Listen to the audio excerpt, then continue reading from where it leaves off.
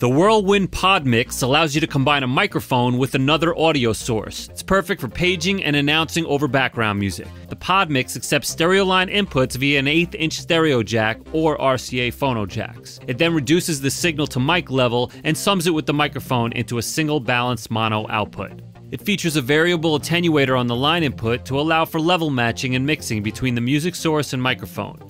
Mute switches on both the mic and line inputs provide a convenient on off control of each signal.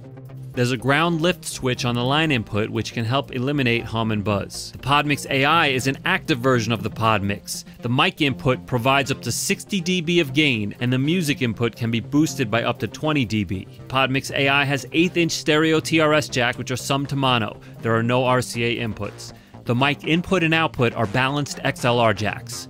Internal jumpers are provided for applying phantom power to the mic input or changing the output level from mic to line. You could also lift the output pin 1 ground. Whirlwind has been making pro audio solutions for over 40 years. The PodMix and PodMix AI are made in New York State and have a 3 year warranty.